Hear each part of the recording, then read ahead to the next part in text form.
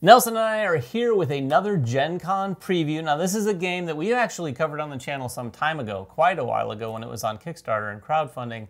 It is now coming to the world via retail and via Capstone Games. It's Pagan Fate of Roanoke.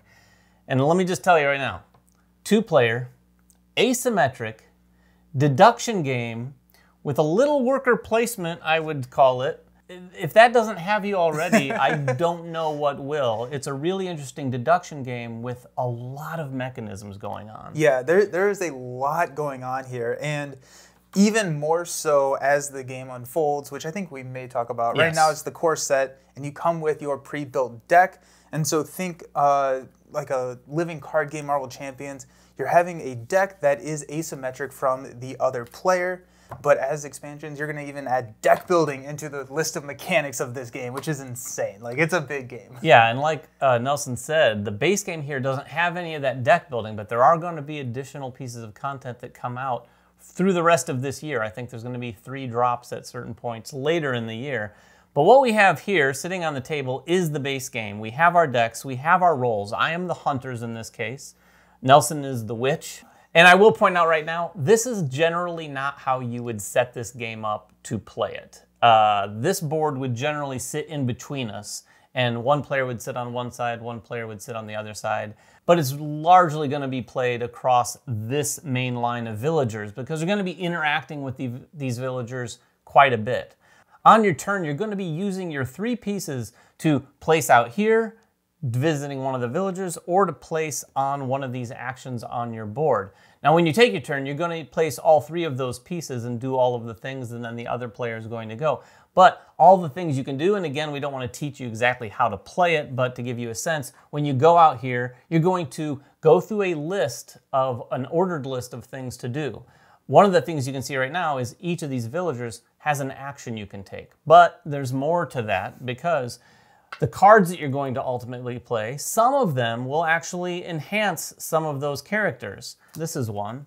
You could play a card, and when you get it into play, it's going to go under the character and offer a little bit more to the action. That's the first thing you're going to do. If there's one of those cards there, you do that. Then you're going to look, and at this part, you're going to add influence to the space. So this one says add two influence to any red cards. So I could put two on one red or one on each of these two reds. This is a big part of the game because I'm putting influence out here while you're doing what, secrets, I think? Yeah, this is where the asymmetry comes into play because these, let's call them upgrades to the individual villagers, is something that only the hunter can do. And there are positive benefits for the hunter, and the negative benefits are implications, yes. I guess, for the witch. And so, based on if it affects one player or the other, you would play it on the other side, which is why a lot of this time you're playing face to face rather than yes. kind of sitting next to each other. And the whole win condition is also asymmetric. The hunter is trying to find the true identity of the witch, which is you see all of our villagers, all nine, they're actually uh, mirrored here in a secret deck of cards. At the beginning of the game, the witch will take one of these. This is their true identity, which is what the hunter is trying to find. And then the witch wins if they carry out the ritual on the true identity. And so that's where all of these pieces that we're placing out comes because we need to convert our secrets into favors. And if we have three favors, then we can carry out the uh, ritual on the true identity of the witch while you need to get some evidence to exonerate other villagers and put out these so you can eliminate the true village or the true witch as the hunter. Yeah, so the players are focused on either if you're the witch, trying to get that ritual off, and if you're the hunters, trying to find the witch before that before. happens. And you're going to be putting those pieces out on either side of the board because that's before to allow you to kind of like grow towards, like you said, the evidence for the hunters, the ritual for the witch. If you're not going out to the villagers and taking those actions, because they also, also in addition to putting out these tokens, they'll also allow you to do things like draw cards, play cards, whatnot. But you also have a list of things you can do here. One of mine is to lift an enchantment. The witch can actually play enchantments. One of the things that they're going to put out are cards here that kind of have ongoing effects that are not good for me, but really good uh, for the me. hunters And one of the things I can do is if I'm really annoyed with that after a couple rounds, I can go, you know what, fine, I'm going to lift the enchantment. Now, that's going to cost some, uh, but I can pay that with these little dials here. You're going to be getting, what is this? Influence. influence. This is the influence to get rid of these cards. Now, I have a few other things I can do here. I can gain some influence, I can draw cards. Uh, I can also exonerate a villager, like Nelson said. If I do that, I'm going to spend in the normal game Yep. three evidence. We played scenario one, which is kind of a tutorial scenario that speeds things up. But I'm going to be able to pull one of these cards, see who the witch is not, not show Nelson. So I'm gathering information about who it's not out there. Now, all the while, I can also kind of conclude from the way he's putting out his tokens who it might be. Because he's trying to put tokens next to the witch so that that's where he can perform the ritual. Now, when we played, he spread, he put a lot of tokens here, a lot of tokens there, and a lot of tokens there, kind of narrowing it down a little for me while also being able to build things up and which I think is probably maybe the best way to go with the witch because you so. need to build one of them up and if you obviously if you do the one it's going to be pretty obvious but he loaded up a bunch on 3 which made it so that I was like okay well it's probably one of those 3 then as I was exonerating I was able to get at least one of those 3 so I was like narrowing it down and it makes it a, a little more interesting than simply just eliminating through exoneration. Yeah. And I will tell you, as the witch player, the more cards that the hunter exonerates, the more stressful it becomes because you don't know if your bluffs are no longer bluffs because you don't know what villagers Yeah. have been exonerated. And so if I am trying to bluff Mayor Biggs here and the hunter draws Mayor Biggs, they don't they're not telling me that. So if I continue to sink resources into that, that's great information for David or the hunter to play as. And so you as soon as those exonerations start, as the witch player, you have to start blitzing and then that just gives more information. And it's a very much a tug of war type game. Yeah, it's definitely a tug of war. Uh, not that this is from the same designer, but Capstone has some other games in their catalog, like Watergate and whatnot, that have a little bit of that similar vibe where you're like fighting head to head and things are going back and forth, and there's some mind games at play. And speaking of mind games, one of my favorite things to do is when he is, when I pull my exoneration cards up into my hand after he's just put tokens down on someone, it's a little way to potentially get into someone's head and go, oh, did he, does he know my bluff? Um, it's a really interesting game in that respect. Now, there's some other things I can do too. One of the main things I can do is eliminate a villager. Now, this, I'm spending three of the evidence to just outright eliminate one of them. Now, they have to be ready, and ready is such that there's not another token on them. Like I said, this is kind of worker placement, so if there's a piece out there, they're not ready. If he has one of his pieces there, I can't visit that villager, or that sort of thing. But if it's ready, I can just eliminate them by spending. Now, it's costly. Yep. And when I do, if it's the witch, they have to tell me, yes, you just won the game. If it's not, that card is basically out of commission. I've eliminated it, but I can only do that three times. If I've done it three times and haven't found the witch, I've unfortunately killed too many villagers and I lose the game. Yeah, the, the village turns on the hunter at that point and like, okay, you're you're you're not doing a great job here. The other thing is is if you do get it incorrect, you lose all of or yeah, you lose all of your clues. Yeah. And that can be so detrimental and it's a really big push for that witch player at that point to really start blitzing the end game. Yeah, like I said, we played the scenario one, which was a bit of a tutorial. It went a little easier on me, I think, as the hunters for sure, because in the standard game, you have to have three clues on the The favors, yeah. on the witch or the person that you want to eliminate, but you also have to have one clue Oh, yeah. on every one of the other villagers. So in my game, I could kind of like pay attention to what he was doing and not really focus on some of the ones that he wasn't focused on. In a normal game, I have to kind of play in all of the areas at least a little bit before I can go eliminating anyone. Yeah. You know, I think that's I think thematically representative of like I'm going around all the villagers, villagers and kind of like I've done my due diligence, everybody. Let's kill this person.